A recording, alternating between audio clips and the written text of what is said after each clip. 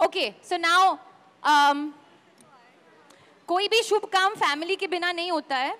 So my mum and sister are here with me today the original writers in the family तो मामा Tanna please come हाँ Raha is sleeping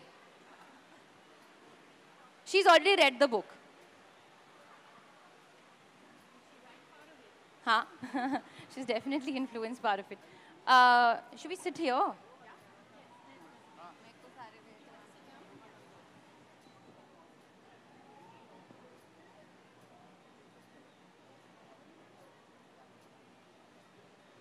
Okay, so we're going to do a little reading.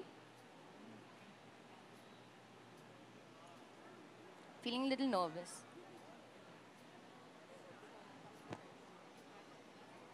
You start. Okay. Can you hear me? Can everybody hear me? It was a bright and sunny Sunday morning, just like today. A time to play football, a time to eat ice cream, a time to be happy. But not everyone was happy, or so thought the crow as he flew over the beach.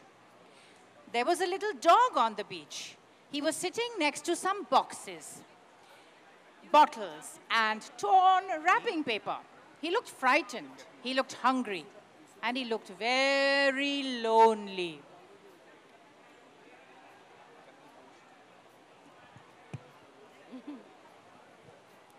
There was a small brown house near the beach, and in the house lived a little girl. She looked troubled, she looked worried, and she too looked very, very lonely.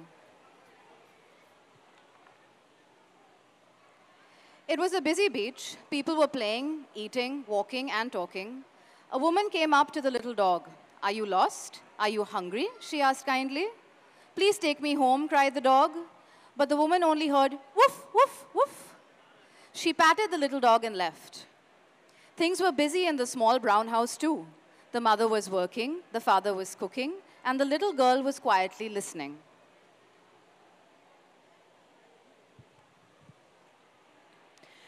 For she could hear a jumble of voices outside the window whispering, grumbling, mumbling.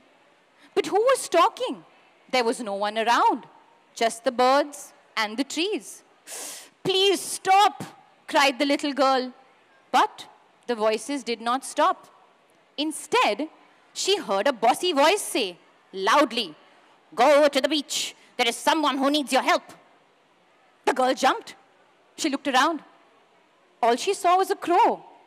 And crows don't talk. And then she wondered, who needs my help? So she quickly ran towards the beach.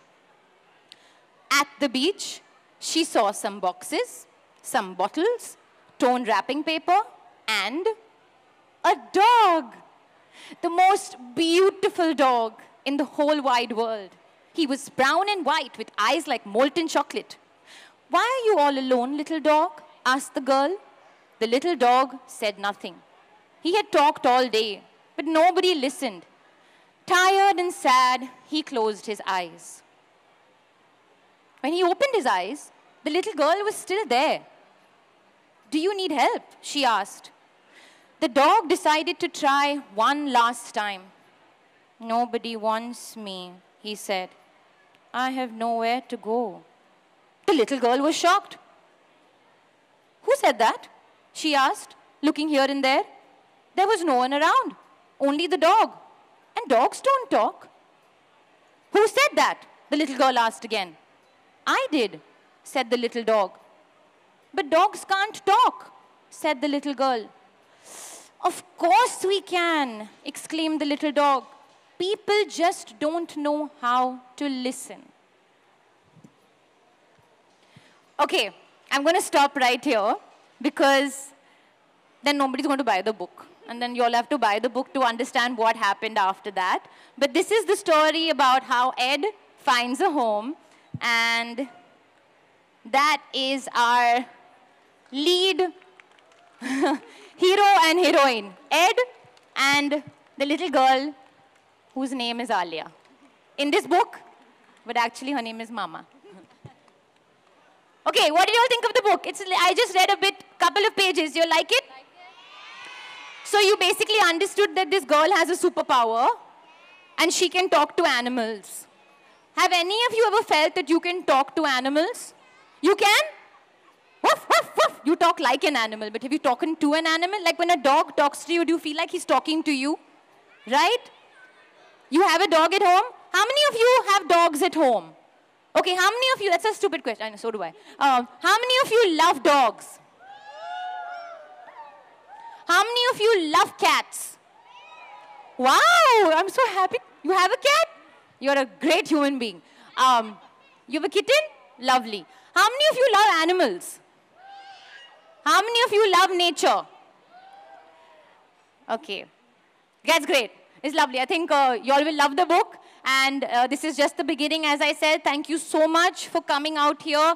And uh, please buy the book. Otherwise, um, it'll get, uh, my dress and all was really wasted to come all the way here. Uh, there's a Edamama pop-up. Uh, you will find some clothes as well.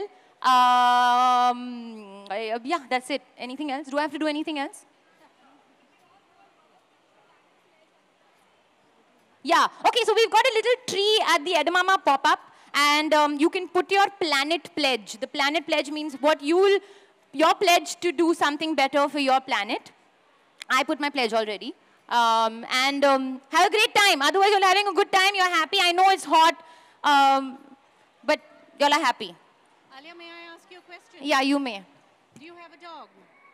Yes, I do have a dog. Did your dog say anything to you this morning before you came here?